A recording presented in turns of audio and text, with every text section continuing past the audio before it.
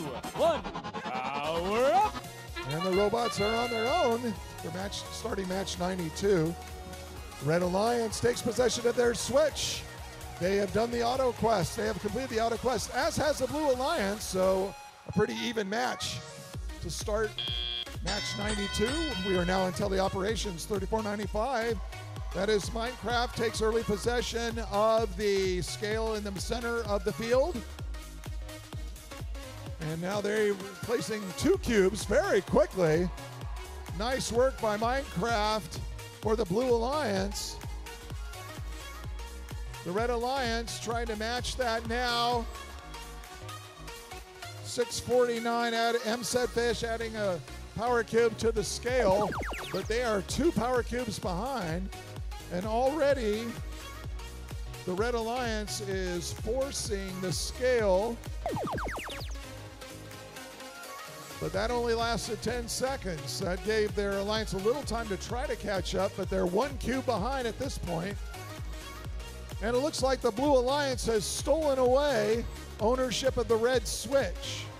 So Blue Alliance now owns both switches and the scale, and they are pulling out in front with just over a minute left in match 92. Oh, 54 58 has wedged itself under its scale. Minecraft, though, their alliance partner 3495, pushing them out and back onto the floor. 1422. That's the Neon Knights grabbing power cubes from the power cube zone and placing them into the red vault. We've got a blue power up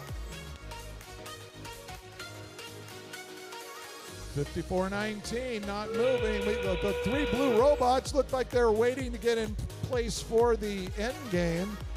34-95, they have hooked up onto the rung. Their winching system is pulling them up into the, into the air, way above the bricks. We've got about 10 seconds left. Oh my!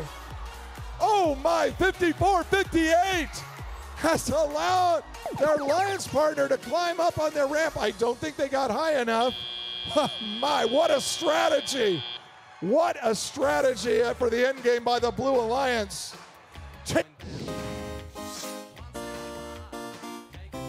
The Blue Alliance escapes the arcade with 412 points and three ranking points. to Blues 285.